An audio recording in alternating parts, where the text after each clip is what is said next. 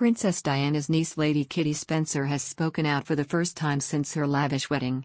The aristocrat was walked down the aisle by her brothers as her father Earl Spencer missed her big day.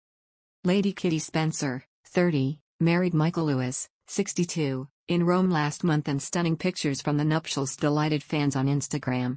The British aristocrat and model is Princess Diana's niece and wowed in a series of gorgeous Dolce & Gabbana gowns throughout the three-day celebration. The fashion house posted footage from the ceremony including a snippet of Kitty being given away by her two brothers, Louis Spencer, Viscount Althorp, and Samuel Aitken, while her father Charles, Earl Spencer was absent from the event. Newlywed Lady Kitty Spencer has spoken out for the first time since her lavish wedding after Dad Earl Spencer missed the event. Princess Diana's niece was walked down the aisle by her two brothers as she married Michael Lewis in a luxurious ceremony which saw the bride wear five dresses. The 30-year-old wed Mr. Lewis, a wealthy father of three who is more than twice her age, in a lavish ceremony in Rome.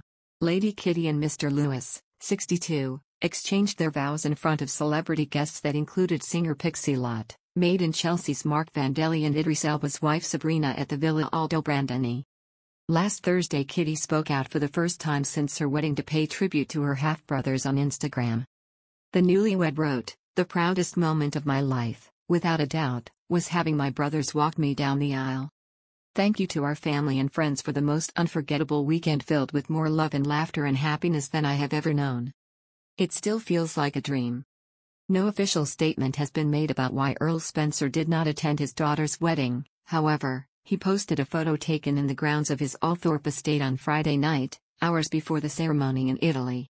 The picture was of the moon and accompanied by the caption, Now, that's a moon. One insider claimed the Earl may have skipped his daughter's big day due to a shoulder related injury.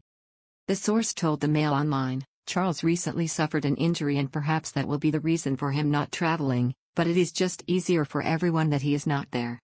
Earlier this year, Diana's brother mentioned the injury in an interview with MSN, citing it as the reason he had to pull out of a diving expedition related to his book The White Ship.